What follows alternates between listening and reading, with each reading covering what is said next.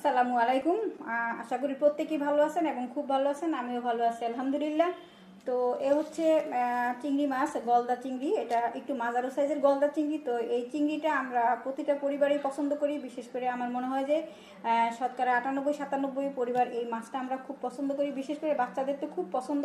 বাচ্চাদের সাথে সাথে বড়রাও খুব পছন্দ করে। তো এই মাছটা তো এইভাবে খাওয়া যাবে না। এই মাছটা খাওয়ার জন্য বা রান্না করার জন্য একটা প্রসেসিংয়ের দরকার আছে, পরিষ্কারের দরকার আছে, কাটাকুটির দরকার আছে।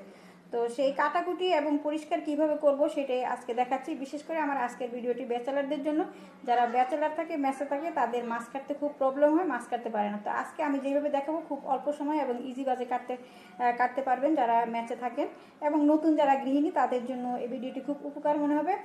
তো আমি মাছটা কেটে দেখাচ্ছি, কীভাবে সহজভাবে মাছটা কাটা যায়, ঠিক আছে? একদম সহজ সহজ পদ্ধতিতে আমি মাছটা কেটে দেখাচ্ছি। তো এ হচ্ছে চিংড়ি মাছের মাথাটা। দেখেন, এখানে একটা বড় কাটা থাকে হ্যাঁ? এই মাছটার মধ্যে বড় একটা শক্ত কাটা থাকে, তো প্রথমে আমি এই কাটাটাকে ছাড়িয়ে নিচ্ছি। এই ডান হাত দিয়ে চুলগুলি ধরে আর বাম হাত দিয়ে টান দিলে এটা ছুটে আসবে। এই যে কি সুন্দর ছুটে আসছে। তো এটা ডান হাত দিয়ে করা যাবে, সমস্যা নাই। যেমন দেখেন এটা আমি এই চুলগুলো বাম হাত দিয়ে ধরলাম আর এই কাটাটাকে ডান হাত দিয়ে দিলাম। বাস শক্ত করে ধরতে হবে, টান দিতে হবে। ইজিভাবে ছুটে গেল। ঠিক আছে? এই কাটা ছাড়ানো কোনো ব্যাপার না। আচ্ছা এবার কি হবে? এবার যে মাছের মধ্যে চুলগুলো আছে, এই চুল চুলগুলোকে আমি পরিষ্কার করে নিচ্ছি। তো চুলগুলো পরিষ্কার করার জন্য যে মাথাটা, ইয়া, মাছের যে পাগুলো আছে, সেই পাগুলোকে একটু শেপ করে নিতে হবে। মানে একটু নিচের দিকে টেনে রাখব। টেনে দিয়ে আঙ্গুল দিয়ে চাপ দিয়ে রাখব। আর এখন এই যে চুলগুলো আছে এবং চুলের মাঝখানে একটা শক্ত একটা কিছু আছে যেটা দিয়ে ওরে সাঁতরাতে সাহায্য করে। তো সেই শক্ত জিনিসটা এবং চুলটাই আমি আজকে কেটে দেখাচ্ছি।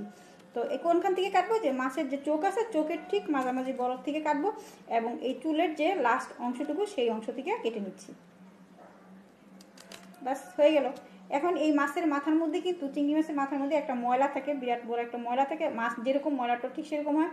তো সেটা কিন্তু অবশ্যই ফেলে দিতে হবে। তো এখন এই চোখের নিচের অংশ থেকে এখান থেকে একটু দুই আঙ্গু দিয়ে টান দিব হ্যাঁ? আস্তে করে একটু টান দিব। এখানে একটা পাতলা চামড়া আছে। চামড়াটা টান দিলেই উঠে আসবে। তো এক এক মাসের ভিতরে ময়লাটা কিন্তু এক এক রকম থাকে।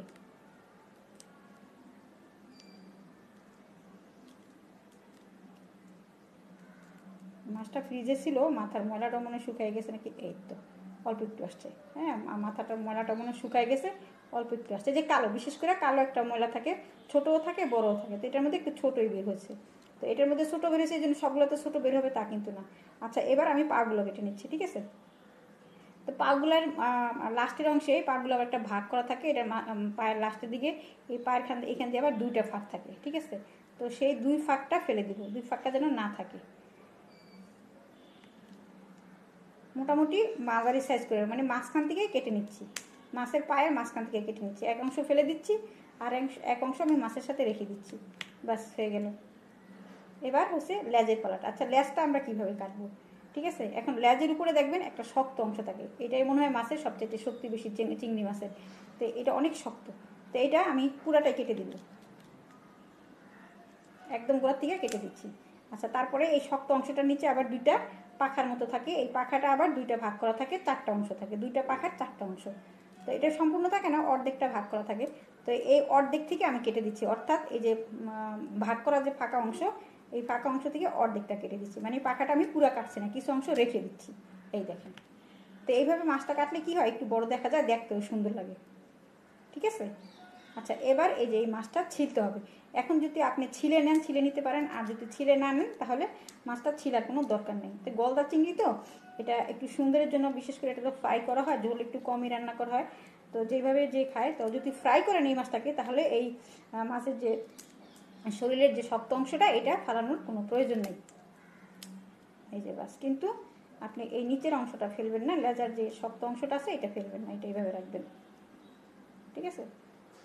তো একটা কাটলাম আমি পুরা মাছটা ছিলে আর একটা কাটলাম এই যে উপরের শক্ত অংশটা সহকারে।